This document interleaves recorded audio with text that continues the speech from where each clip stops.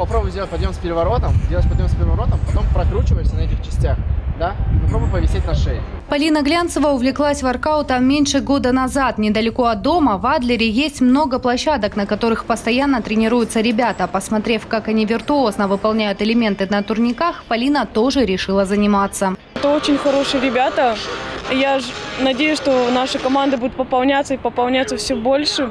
Они вообще все молодцы, они прогрессируют быстро в воркауте, меня тоже хвалят. Я тоже очень много элементов научилась, как в этой атмосфере.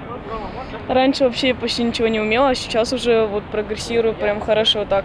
Первые соревнования прошли в сквере Бестужева. Полина была единственная девочка среди участников. Ее заметили представители сочинской команды и пригласили к себе на тренировки. Затем прошел еще один турнир на Красной Поляне. И 2 декабря они отправились на соревнования в Краснодар, где смогли выйти в финал.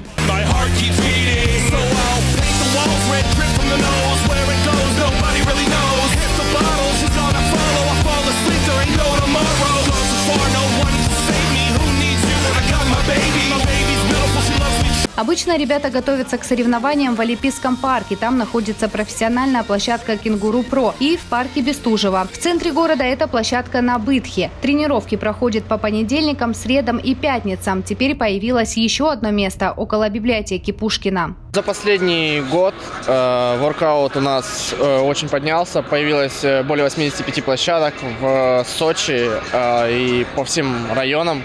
Э, в Лазаревском, в Адлере. Администрации города Сочи спасибо за то, что поставили площадку э, прямо в центре.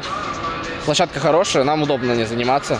Краснодарском крае, в том числе и в Сочи, насчитывается более 5000 атлетов. В сочинской команде всего 20 человек, и ребята с удовольствием ждут свои ряды новичков, тем более, что мест для занятий в городе достаточно. Вообще в мэрии уделяют большое внимание спорту и досугу молодежи. Только за этот год во всех районах курорта было обустроено 48 новых спортивных и детских площадок. Татьяна Говоркова, Михаил Дубинин, телекомпания «ФКТ».